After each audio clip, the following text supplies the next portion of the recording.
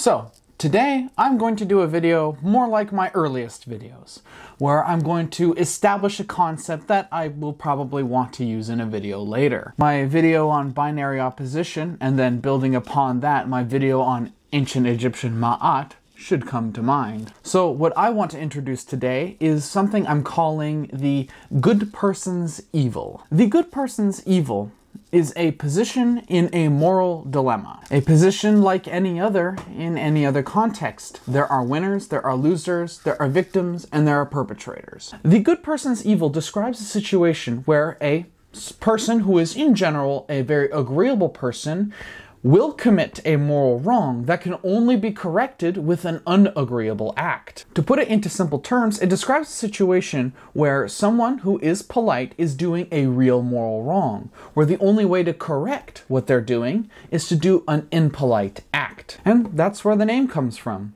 Someone who is polite is only doing wrong by being polite. We spend the earliest years of our lives learning how to be a good person, how to be polite. And where I come from, it's very easy to conflate being polite and well mannered with being a good person. Because in like 90% of cases, the two concepts do mean the same thing, achieve the same goals. Saying please and thank you is a polite thing to do, an automatic thing to do for the polite but it is also a good thing to do. It lets the other person know that you feel grateful for the thing that they have done for you. But like any conflating of two things, there is a flaw in that system. Notice a moment ago I used the word automatic. Politeness is a system that governs behavior. It has a specific set of rules that we are quite literally taught. Taught in very much the same way we learn to read and write. Eventually it becomes second nature automatic. It is automatic to not speak to others rudely. It is automatic to not be impolite. And that's where the flaws start to show, because doing the polite thing is not the same as doing the right thing, ultimately. Morality, like politeness, are both systems. The difference between them is the specifics of their rules. Where politeness is taught to us through very specific rules, morality, not so much.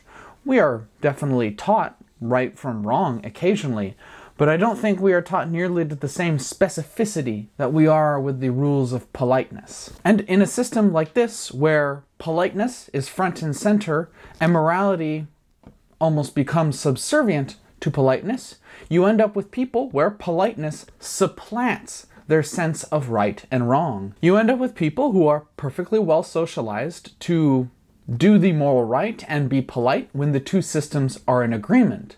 But when their politeness is doing a moral wrong, they only know to continue to do their politeness. For example, most of the time, it is polite to avoid confrontation. But sometimes it's necessary to confront things. Confrontation can settle what can't be settled otherwise. It can make right what can't be made right otherwise. Perhaps it would be best to make a real moral situation out of this. Let's say you have a friend. You and this friend have known each other for a long time, but you've also been drifting away as people for years. Maybe you realize it Maybe you don't. But you know you're not having fun when you spend time with them.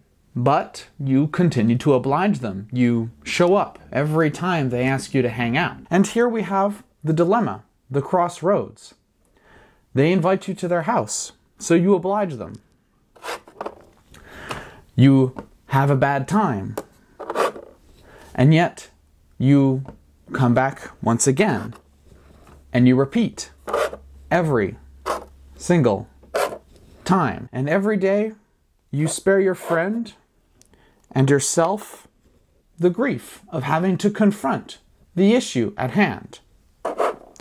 One more day where you don't have to deal with the negative emotions that might beset you. Because at the end of the day, hurting each other's feelings is impolite. But is that the right thing to do? You're not having a good time, so let's say they're not being a good friend to you, and that's evidence of that. But if you're not having a good time, chances are you're not being a very good friend in return. That means no one is coming away from this situation any better.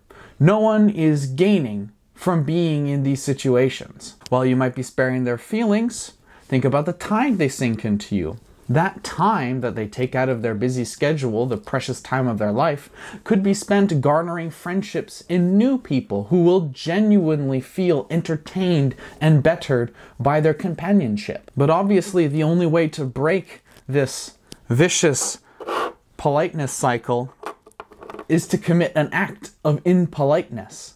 But ultimately, what is the truly right thing to do in the long run? The thing is, in order for confrontation to be good, yes, you need moral judgment, moral principle, but you also need strength, strength of will to see the confrontation through. Because confrontation is hard. It's easy to follow the rules. It's easy to be polite. It's easy to go through the motions. It's easy to read. But doing the right thing is not easy. It takes strength.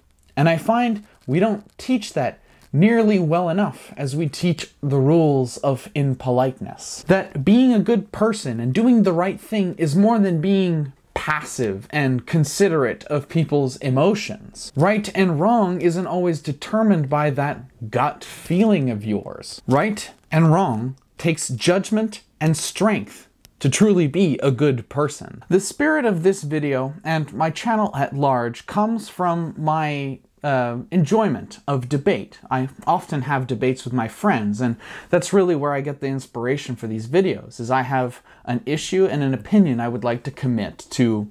I suppose it's not stone; it's electrons, the digital cloud, so to speak. So if you ever feel like you have a response, you know that like like when you're talking with your friends you have a ah but wait one moment i have an answer for that. Then please feel free to put it in the comments below. As you can see there's not many people down there so you'd be bright and shiny for me to answer in the comment section. As you can probably tell by the fact that several videos build off of each other in my my uh, channel you can probably judge that that's in general it's basically me having a debate with myself.